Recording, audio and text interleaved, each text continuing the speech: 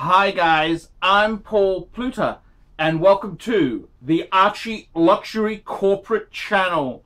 Today we're going to discuss the very very important topic of how to finance your Rolex purchase. How to finance your Rolex purchase. Let's run the intro and let's discuss.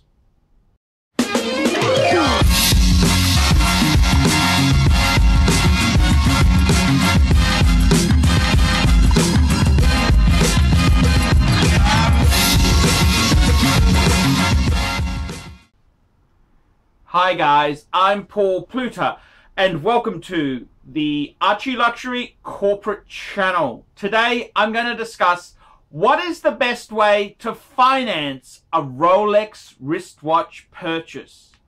And I've got to tell you, I've got to tell you, if you are a smart investor in wristwatches, you can basically have your wristwatch for free a free wristwatch? What am I talking about? Well, let me explain. If you buy a nice example of a Rolex watch on the used, the secondary market, if you buy certain models from a second-hand dealer, you may be able to have that watch for free. Let me explain. Rolex watches, certain models go up in value. Now, you've got to be careful which model you pick. If you pick a gold model, like a Day-Date or a Datejust, or even a Submariner, you could run into trouble. However, number one, the tip is to pick the right model and the best Rolexes to buy. The best Rolexes to buy. Rolex Steel Sports. Rolex Steel Sports. And let me explain further. You buy a used Rolex Steel Sports watch. You buy it on the used market, secondary market, and the watch itself always holds its own. That's correct. Basically, the buy price minus the eventual sell price means you could be thousands of dollars in front. Now, you may look at this equation and say, well, that's probably very true if you bought watches 10, 20, 30 years ago, but what about in recent times? Well, what about recent times? I acquired, this is the least, this was the least desired model in the Rolex Sports Steel range, the Rolex Explorer 2. I bought this watch here about two years ago from a dealer for 5,000 Australian dollars. 5,000 thousand Australian dollars. Now, this particular wristwatch itself, I went overseas. I had a, I was able to claim the GST back. Now, when I did that, I had to leave that watch overseas for a period of at least 12 months. No problems. I'm a multi-watch collector. That isn't a problem. So the purchase price of this watch was 5000 minus the GST, 4,500 Australian dollars. Okay, this watch here today, uh, this is a boxed example with no papers. It's an F serial number from about 2004. So when I acquired it, it was at least 10 years old. And it cost me four and a half after tax back. Now, this type of watch in the Australian market for a nice, sharp, no holes case, solid end link Explorer 2 is going for about six and a half to seven thousand dollars. Which means if I liquidated this watch, I've made a handsome profit. Now, I'm not doing watches to buy and sell. I'm not a flipper. I want the enjoyment of ownership. And in this particular case here, this watch here, if I sell this watch, it would have cost me nothing. In fact, I would have made money. That's right. Picking the right piece can, in fact, make money for you. Now, if you said, well, hang on a minute there, Archie, what about if we factored in a service? Okay, even with a service, a service would cost approximately 500 Aussie dollars for a reputable third party or a thousand dollars Australian for Rolex factory service. I would still be thousands in front, a thousand in front. So I gotta tell you guys, this is the thing. You've gotta pick the right models. Rolex Steel Sports. That is the best model to pick.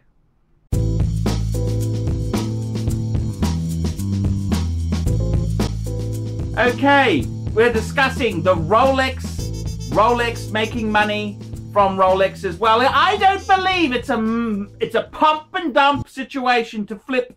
I do this for the enjoyment. Now, we want to talk about how do we finance a wristwatch, a luxury wristwatch? How do we finance such such a delightful creature? That, my friend, is the question.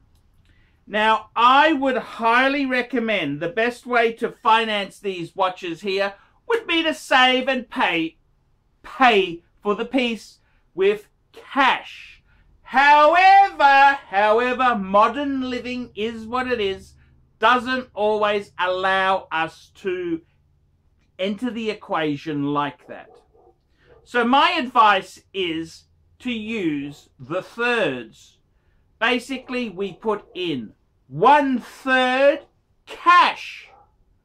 We put in one third from selling some less desirable pieces. You may have some old Tag Heuers. You may have some uh, pieces that you no longer desire or lust for. Put that money into a solid Rolex Steel Sports investment. Now, the best way I advise people to do this is third, third, third. Third of the money comes from your own savings. Another third comes from selling unwanted goods you may have, like a less desirable brands. Brands you know have very little chance of moving forward, and I would recommend borrowing a third. That's correct, borrowing a third to finance this deal. Now, what would I recommend? How do you finance it? And there's a number of ways you could do this. Um, you could you could number of things are number one is a credit card a credit card. This can be a very useful tool to buy some luxury goods which will increase in value. The other option is to use a bit of equity in your home. You may have a home loan redraw facility you may have some sort of overdraft which allows you to uh, purchase goods with equity and other assets. Now, I got to tell you, my honest opinion is the best way to finance luxury wristwatches is to use a credit card. Now, credit card, MasterCard, Visa, these are the best ways to go. I would highly say to you, American Express is one of the least attractive cards in the market. There's two type of American Express. There is the charge card, which basically means you need to clear the bill every month. So technically you don't have a balance. You clear your bill every month. That is probably the least uh, desirable way to do it because the whole point of putting it on the card is you don't have the money. So it's much better to use a revolving source of finance. American Express does have credit cards, but I've got to be honest with you. When you pay by the American Express card, most merchants charge you more than if you used a Visa or a MasterCard. So the American Express card, cut that bastard up. That's the best advice I can give you. If you have an American Express card, cut that bastard up and send get a Visa or a MasterCard. That is the honest advice from the pontiff. The next way we could do it is we could use some equity in our in our home.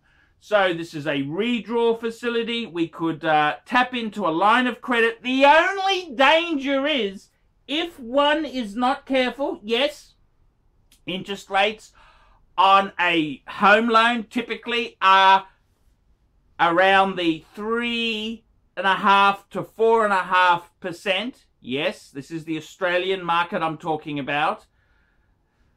Uh, however, if you're not careful, you could be paying off that wristwatch over 30 years, 25 or 30 years, depending on the term of your mortgage.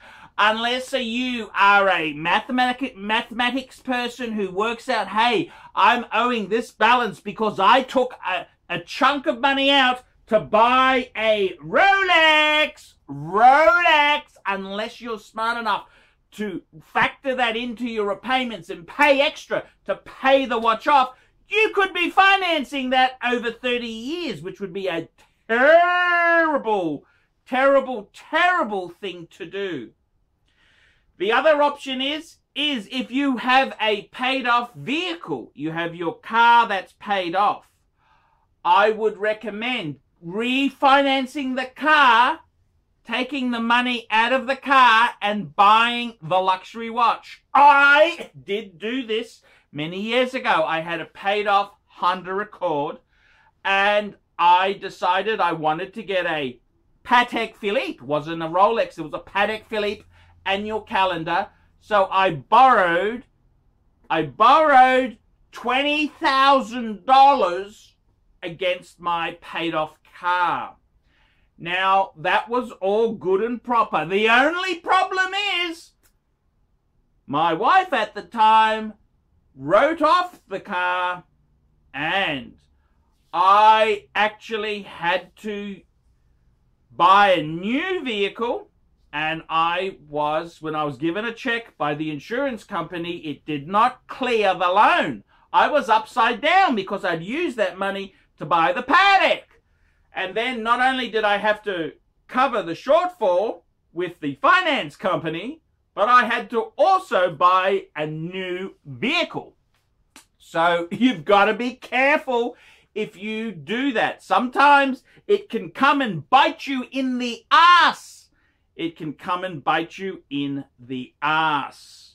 So that is a very, very dangerous thing. The other dangerous thing is if you take money out of your home loan, your mortgage, or an overdraft, guess what? her indoors may be asking questions. Why have you taken $5,000 out of our mortgage? What exactly are you doing, Charlie? That's the type of discussion it could evolve. A good friend of mine decided to take a little bit of money out of a joint savings account. Guess what? The bank, when he withdrew the money, he thought, oh, I'll just keep taking it out for a couple of months. She won't know. There was an email sent, a text, an SMS, and an email sent to both parties saying, just confirming you've taken $5,000 out. It didn't go over well. Generally speaking, when you are financing wristwatches, you are best to keep the little lady out of the discussions. The lady of the house, she who must be obeyed, often does not understand sexy financing deals involving luxury wrist watches. So be very careful. The best advice is keep her out of luxury wristwatch purchases. Keep her out of the discussion because she may not understand the hobby. She may not understand the Weises. You need a balanced collection. And Rolex, you can't lose money buying Rolex. You can't lose money. She may not quite understand the situation. So I gotta be honest with you. The best thing is keep her out of discussions. So that's the key point I want to make it with you. Probably best keep her out of it. She probably won't understand when you've got three or four luxury timepieces already and you're buying the next one. She may not be so eager to sign the forms. So just be aware of that. Okay, let's talk about credit cards and how to finance.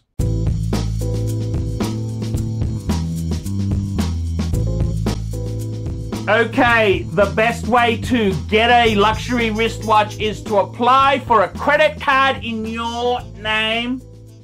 If you've got reasonable credit, and if you've got a job and a couple of pay slips, it's all very good there.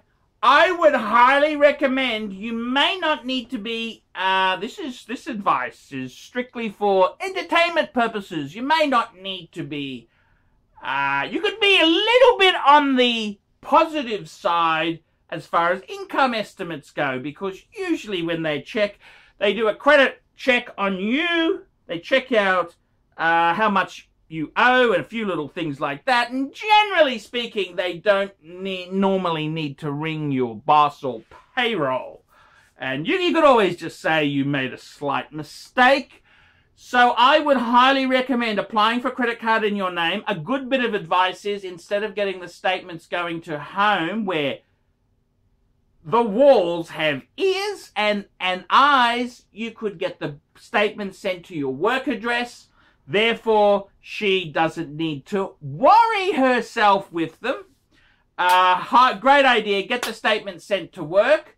And basically, what I would suggest for you to do is, is to get a couple of credit cards and we can send up, we can set up a system for this. Now, the best thing to do is to purchase this on one credit card. Now, if you're unable to get credit card, um, if you're buying the watch from a merchant who doesn't accept credit cards, he may accept PayPal. So PayPal allows you to pay for a transaction with a merchant who may not accept credit cards and he takes PayPal, you could use your credit card to pay him.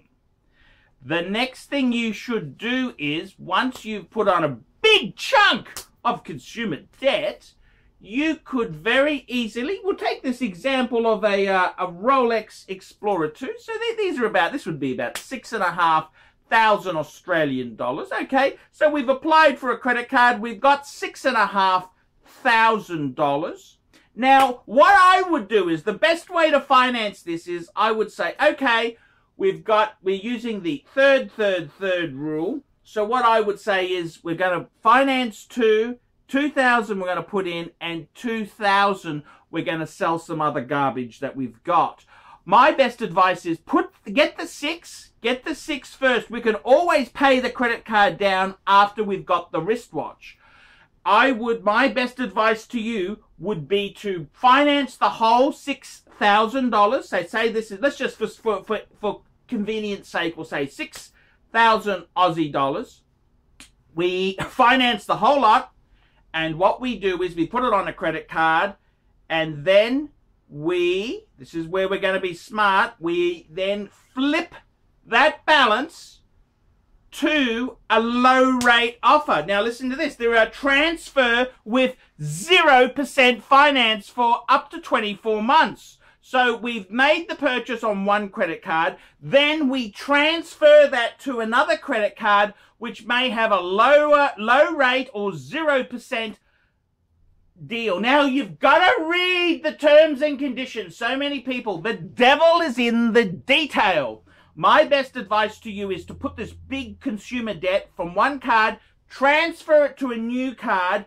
You've got the best advice I can give you from Papa Pluta is to immediately, that card, what happens is it may be 0% interest until you've paid it down to zero for say two year period. But if you made new purchases on that card, like say we went and had coffee at Starbucks one day, guess what? That $5 coffee will be charged at a much higher interest rate. It could be charged at say 24.99%.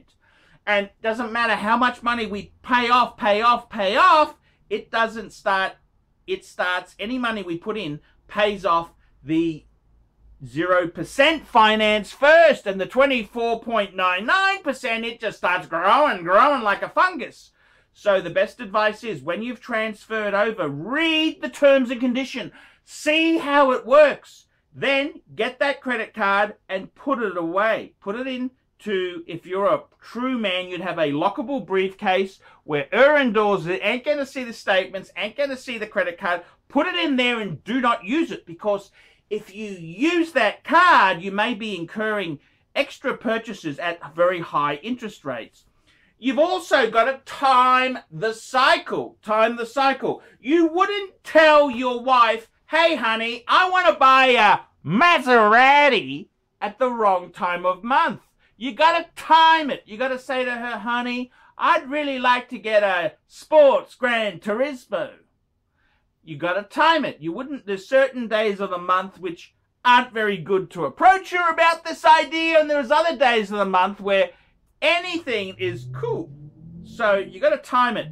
Credit card cycles are the same. Sometimes if you get it at the beginning of the cycle, it'll be in next month. If you get it at the end of the old cycle, you're paying next week. So you've got to be very careful. Timing, fuckers, timing. Generally speaking, on new watches, you can get something called dealer financing. This is where the dealer will allow you to take the watch home and they have a credit facility. Now, the only thing is they generally only offer the credit facility on hard to move stock. Hard to move fuckaroonies. So generally, if you wanted to use the dealer financing on a Steel Sports Stunner, Rolex, Rolex Steel Sports Stunner, no, no, no, no, you can't do that. So my advice is generally the best way to pay for it, the best way to finance a Rolex is to use a credit card and then roll it over to a interest-free period. Now, the next question is, okay, so what happens here? I thought, Archie, you've just bought a $6,000 watch. You put the whole amount onto an interest-free period for two years. What do you mean, Archie? What's going to happen? I thought you said put third deposit, a third from selling stuff, and a third on credit. Well, what we do is because we've got 0% finance, we can put that $2,000 into a sub account, a no fee sub account with okay, it's going to be shitty interest, but we'll just put it away for emergencies. When I say emergencies, if another watch comes up, we could dip in.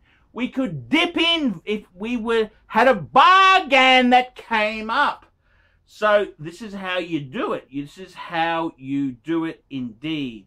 So in my opinion, the best way to finance wristwatch purchases is on a credit card, then transfer it to a uh, another credit card with a zero, a transfer offer. And do not use that card. Just put that card away in your lockable briefcase. And then what you do is you have some reserve money you put into the sub account. And that also can be very handy. her indoors um, don't ever talk about money with her. This is secret men's money, okay? Secret men's money. Don't don't talk about money with her. This is this is this is money in case a really good buy comes up. So that I think is the best way to finance wristwatches. It is to the best way to finance it is to put it on a credit card, then transfer it to an offer, and then have money in the in a, in a, up your sleeve, have access to cash up your sleeve. Because if you buy the Explorer 2, you might have a sub no date comes up at a bargain price. Perfect combo, combo, perfect pair, perfect pair. So this is how we do it. This is the best way to finance a Rolex watch. Now, let me just say this to you, okay? You be sensible, you be clean, you be mean, you can build a wonderful fighting machine Rolex collection. And that leaves us to the last topic, which is the, the fact that with ownership of Rolex watches, these are off ledger. If you're going through a divorce, if you need to leave the country or leave the state very, very quickly, take your watches and fuck off! There ain't no title, there ain't no lien on this sort of shit. Wristwatches are lien proof because it's possession is ownership on these things. So I would highly recommend these are things, these are assets, these are assets which do not, they're not, you can't put a lien on it, can't put a mortgage on it, you can't sell the paper. This watch itself here is a very, very important investment class. It's it's hag free. Your ex-wife cannot get onto them. The IRS cannot get onto them if they don't. What they don't know about won't hurt them. And wristwatches themselves, this is a portable asset class which you can use for future endeavors. Like if you need to leave the country quickly, you could. You could. Wristwatches, man, that's where it's at. So my advice to you, finance them on a credit card, then transfer to an interest-free period. Make sure you do not, you read the terms and conditions, you understand, have that money. Okay, may not pay the money off, but you got that money up your sleeve because we want to become watch traders. We want to become mini dealers, mini dealers. This is what we do. We can hide the collection from her indoors. We just say, we're mini dealers, honey. We're mini dealers, and this is the way it works.